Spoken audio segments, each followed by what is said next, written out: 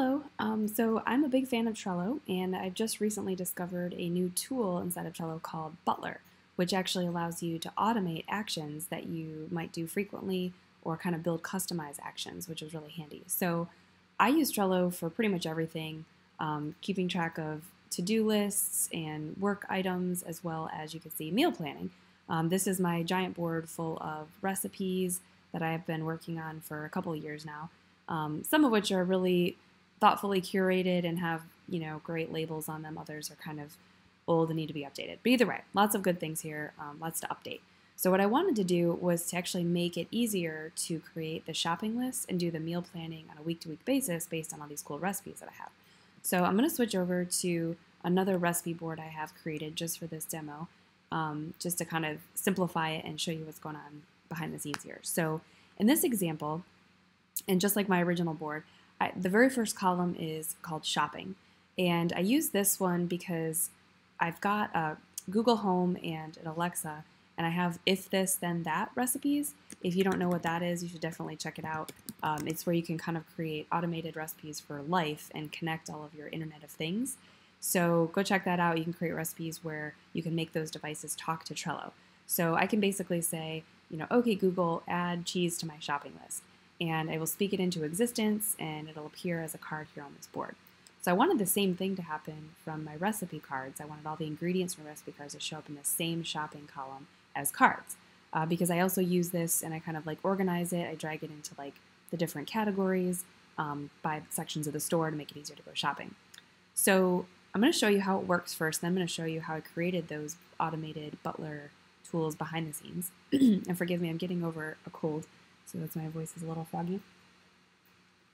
So for this first example here, I'm going to show you this veggie recipe for cauliflower gnocchi, which is so hot right now. If you haven't found it at Trader Joe's yet, I should definitely seek that out.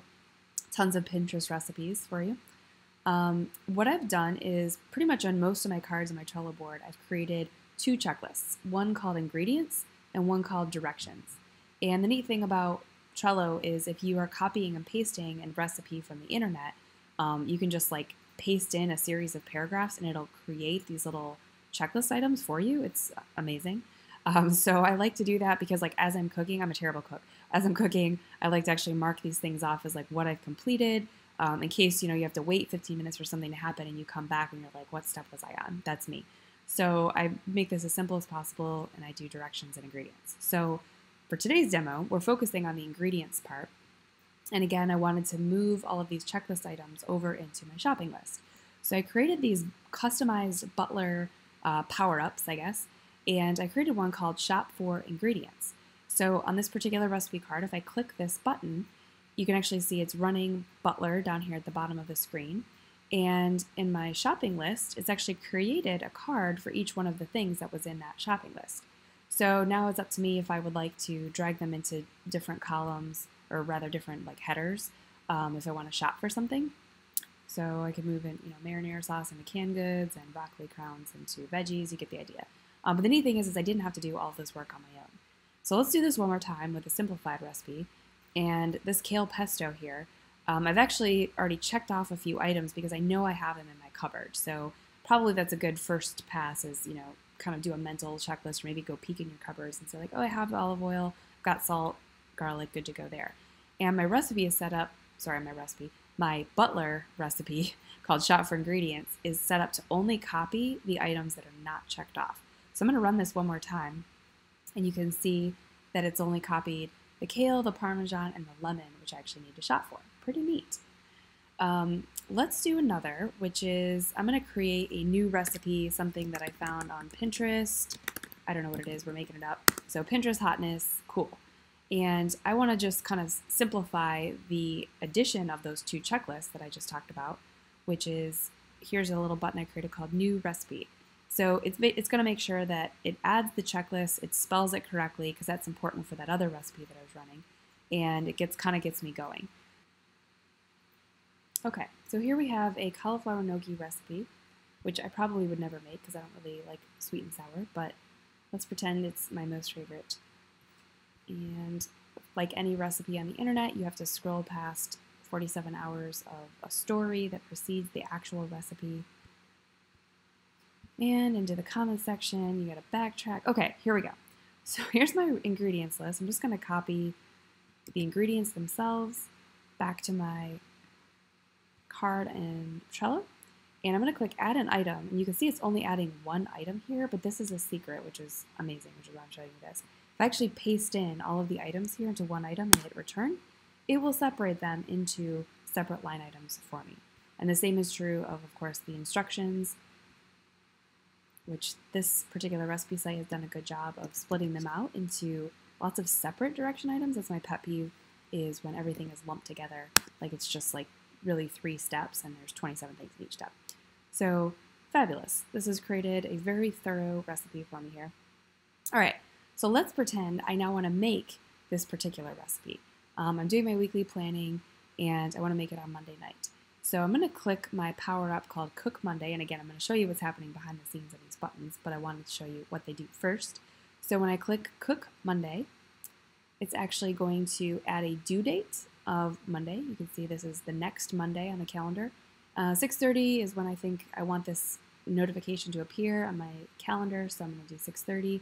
I've assigned myself as a member of this card so I can get any notifications or updates on it. And it has moved the card over into things to cook this week.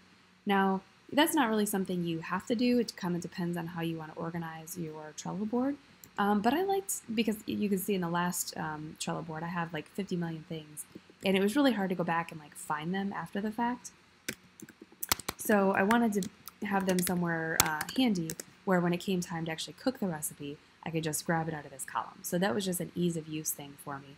But the neat thing is, is that by adding the due date, um, it will actually add it to a calendar. Let's see if that's something you have to turn on. Well, you might have to turn it on. Okay, well, I'm going to cheat and go back here and show you. I've got it already turned on. This is a power up in Trello. And you can see when I switch to the calendar view, I have things already added to my, you know, week for next week of what we're going to do on which day and which things we're going to make. And you can sync this with Google Calendar. Um, you could basically just grab this iCalendar feed and import that as a Google Calendar. Then it shows up in your real life calendar. It's pretty amazing.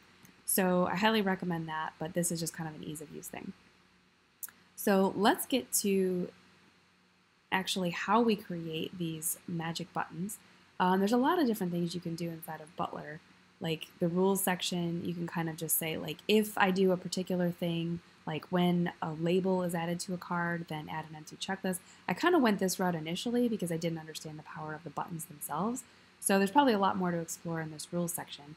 Uh, but for this demo, I went ahead and created fancy buttons for each thing that I wanted to do. So let's go ahead and break these down. I'm going to do them in reverse order, the order I showed them to you in. So shop for ingredients was the first one. So if I edit this, you can see there's a plethora of things that you can do inside of a custom button. Um, it took me a little while to figure this out. I actually reached out to the Trello support team. They were very helpful, and they let me know there were a lot of customized things under the Cascade section. So check that out. Um, but this allows you to basically change things that are checklist items in Trello into cards. So if you want to convert something, that's what we're doing here. That's kind of complicated. You find that under Cascade.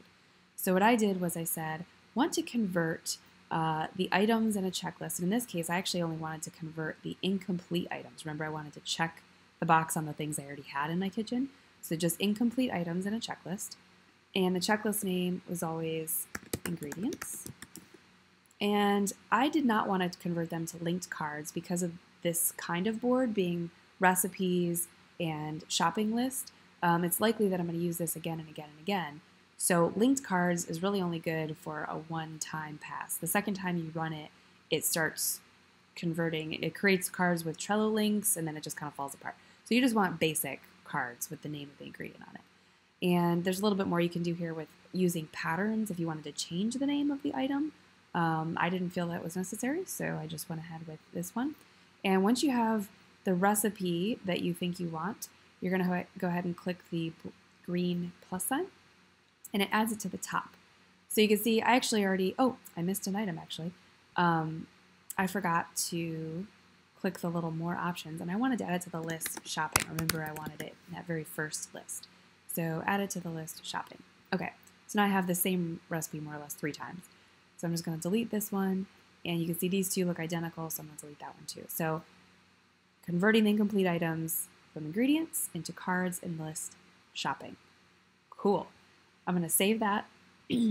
and you can basically reuse this again and again if you like. You can enable it on this board or for all boards, or you can share it with your team. So lots of cool stuff you can do here. All right, behind the scenes on the new recipe, this one's pretty dang simple. Um, I just went ahead and found under checklists, you want to be careful to add an empty checklist. Uh, I accidentally did this the first time where I said add the ingredients checklist, and what that'll do is copy an ingredients checklist from some other card on your board, and you're gonna get all kinds of crazy stuff. So make sure to add a empty checklist called ingredients and then another one called directions to your card, and that's just speeding up the recipe creation process. And then the next two buttons, you can see I only did Monday and Tuesday for this demo. You could create them for uh, every day of the week or maybe just your weekdays if you tend to cook on the weekdays um, and eat out on the weekends.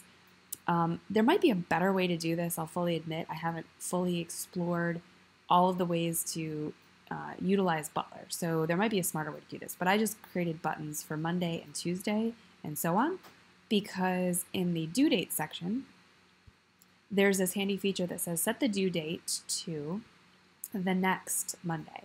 So if you wanted to do the next Monday, the next Tuesday, the next Wednesday, I thought this was a really handy feature, and it sure as heck was faster than trying to manually add a due date to each card um, and kind of looking through a calendar and then also manually setting the time, which was also a pain. So I just did the next Monday at 6:30. Again, this is your preference based on your dinner time. Once you kind of have like this mini recipe here, you click the plus sign, and then you're going to have to click the plus sign again. I don't know why, um, I assume it's just because sometimes there's more than one thing you can do um, in a little action. So either way, got this set up, hit the plus sign, it adds it to the top, excuse me, and you can, I'm going to delete this one because it's a duplicate, but I just basically said, oh, look at this, this is a mistake. I said move the due date. You don't want to move a due date. If you don't already have a due date, you want to add a due date. So let's put it back and let's delete the wrong one. Okay. And we're on the Tuesday card. Don't worry about that. You get the idea. um, the next thing I did is move the card to the top of the list of things to cook this week. I found that under the move section. You can see it's right here at the top. And I just typed in the name of my pre-existing list. I also added this action of join the card, and that's under the members actions. So I just put myself on it again so I could get any updates in case my husband decided to add anything. So there you have it. That's like a pretty long-winded way of showing you how to create some very simple buttons in Butler. Um, this can really streamline your your food uh, planning, your meal planning for the week. And ideally, the whole goal behind this, honestly, is to avoid food waste. Um, I love it when we can kind of do our meal planning very concisely and just shop for the things we need rather than wandering through the grocery store and picking up things that just look good and then trying to make a meal. And inevitably, you always end up with stuff left over, right? You didn't get to use those veggies before they went bad, and that's always sad. So this is a way to make sure that you're only buying the things that you need, and you've got a recipe ready to go, and you've got it on your calendar. Easy peasy.